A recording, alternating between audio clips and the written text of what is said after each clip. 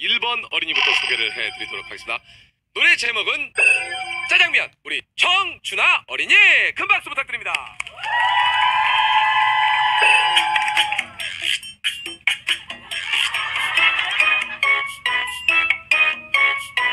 물등물등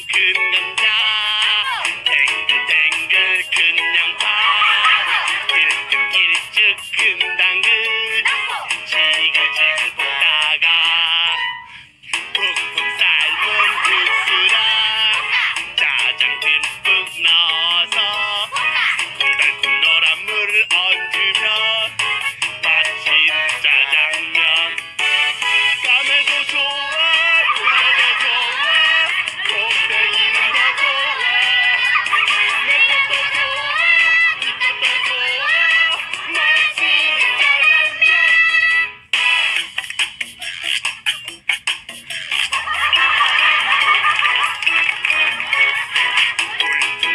큰 감자.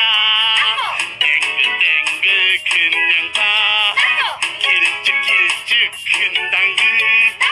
지글지글 볶다가 삶은 국수라 듬뿍 넣어서 새콤달콤 노란물을 얹으며